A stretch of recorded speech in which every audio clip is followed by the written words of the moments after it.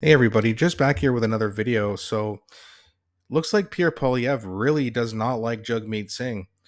He uh, he made a bunch of posts about him yesterday, and then here we got a couple more things to go through. And starting with this quick video, it's a little bit old as it was taken back when they were still having question period.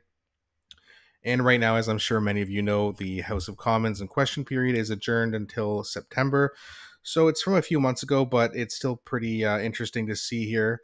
It says breaking Jagmeet Singh's top spokesman and brother's company is a lobbyist for grocery giant. What a hypocrite.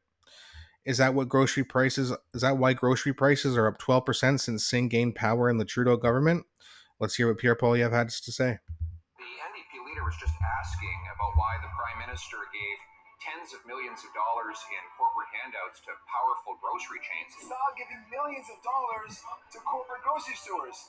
When will the Liberals, when will the Prime Minister stop giving big grocery a free ride? The answer, of course, is that he voted to let the Prime Minister do that. Ah. Not a single penny of that money could have gone without the vote of the NDP coalition partner.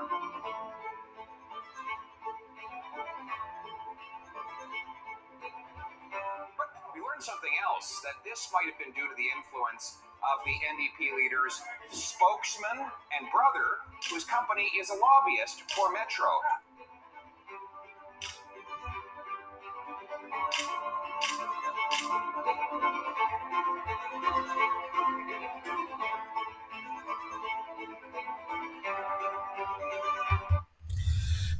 Yeah, that's uh, that that's not a good look if you're Jagmeet Singh when you're when you're complaining about oh I want grocery prices to go down, but my brother's a lobbyist for Metro, one of the most expensive places to get groceries.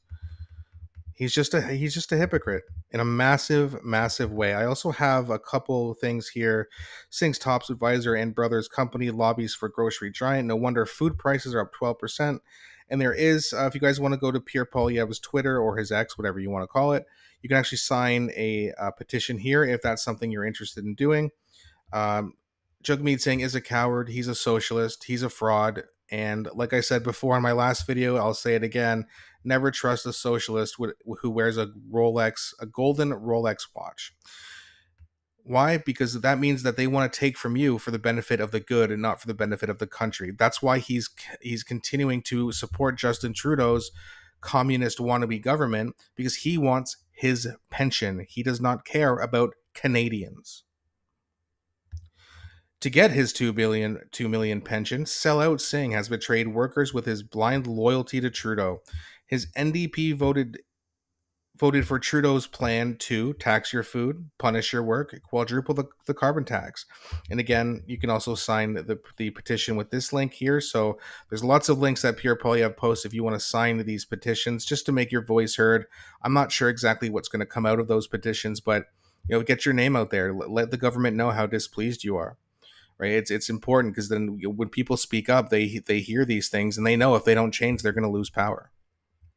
I think it's too late for that. They're probably going to lose power anyway. But it's just it's just funny, right? Like Jagmeet Singh's whole thing is about oh, I'm for Canadians first, Canadians first. It, it's very clear he's not. Otherwise, he would have voted for the vote of non confidence. He wouldn't be showing off his Gucci bags, his Rolex watches, and you know his fancy house when he's doing his stupid cooking shows. And he's doing all this, selling himself out, selling Canada out, to form a coalition with Justin Trudeau and he doesn't even have a seat at the table. He is not in Trudeau's cabinet. That's how much of a pathetic coward this guy is. He can't even negotiate a seat at a table in which Trudeau needs him to be at. But Trudeau just said, "No, just just stand off to the other side. Go go stand in the corner. We'll make big boy decisions, and then uh, you know when every time you get mad at you, we'll we'll throw you a little. Every time you get mad at us, we'll just throw you a little tidbit so that you don't call an election." And Jagmeet Singh has gone, okay, fair enough. But he, he decided, you know, he, I don't want to negotiate for a, spot the, in the cabinet. I don't really want to say. I just want to keep the conservatives out. And then when the liberals are in, we can team up against the conservatives and pretend that they're that they're the evil ones. And then the liberals are in power, so I can blame Trudeau on everything. And Jagmeet Singh thinks in his mind that he comes out looking like the good guy. Well, let me ask you guys a question. Is Jagmeet Singh a good guy? Let me know what you guys think in the comment section. Do you he, do you think he's a good guy or in this situation the good guy? I can't wait to see all the roasts in the comment section. Whenever I make videos about Jagmeet Singh, you guys are always very active in the comments, just roasting him, and I love it. Keep it coming; it's hilarious. Try to keep it as clean as possible. You know, no racist things because then I, I have to remove it for YouTube's terms of service policy. But roast away; it's funny. Let me know what you guys think in the comment section. Uh, thanks so much for watching, guys, and I will be back.